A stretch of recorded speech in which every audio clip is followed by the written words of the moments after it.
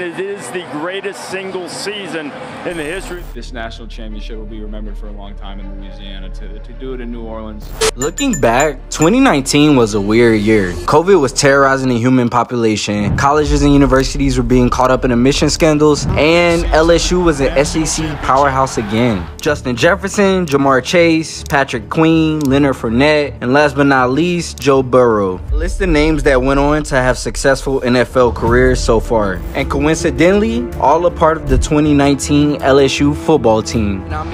Ever since LSU dominated the 2019 season, there have been debates about how good this team actually was. After a decade of mediocrity, who would have been able to predict such an exceptional run?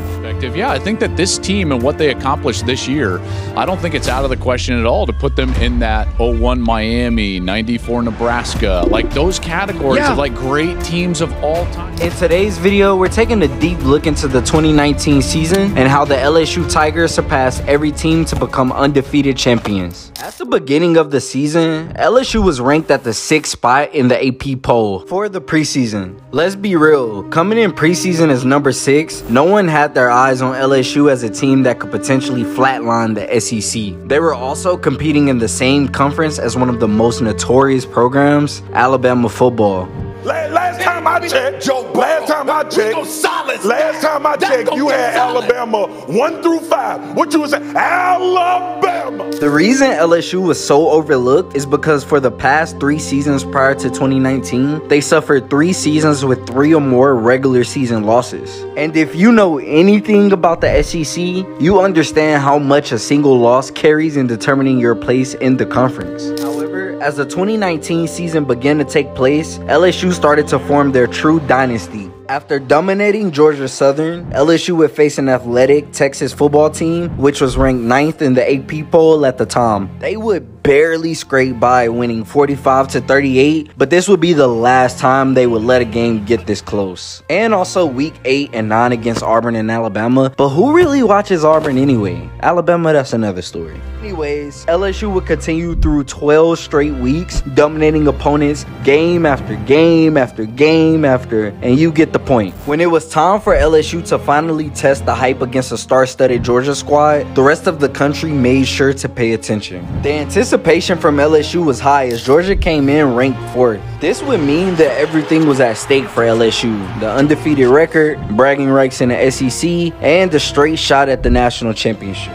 Really close. Yep. Um, but go dogs, come on. Oh. And I mean, no coach wants to be remembered as the one who wasted the available talent they had at disposal. So Ed and Joe buckled down, surprisingly sweeping through Georgia without a true fight. But in this game, the true star would be star receiver Justin Jefferson. After complimenting Joe Burrow's 349 passing yards with 115 receiving yards, Jefferson would torch the secondary all day long. At the end, LSU would come out with the victory, winning the SEC title after eight long years. This win was major for LSU and quickly shifted them to the top spot in the college football playoff rankings. Now they had a chance to perform at the national semifinal game at the 2019 Peach Bowl. In the semifinal, LSU would match up against Oklahoma, another team who was running through the competition. Throughout the game, Burrow and Jefferson would strike again. This time, the pair would finish with 227 receiving yards for Jefferson and 489 passing yards for Burrow.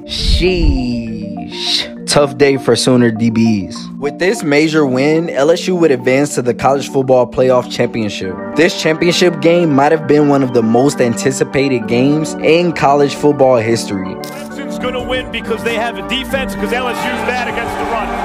Well, what's this? You got a score for me? I don't have a score for you. I have the best player on the field. It's going to be Trevor Lawrence. The pressure of this game was at an all time high, and the initial stages of the game were definitely intense. Then came Ja'Marr Chase. Chase would finish with 221 total yards. For the entire season, there were two receivers from LSU terrorizing defenses Justin Jefferson and Ja'Marr Chase. Both 1,500 yard receivers of LSU, Chase performed extraordinarily well throughout the season and would be awarded the Biletnikoff Award for being the best wide receiver in the country.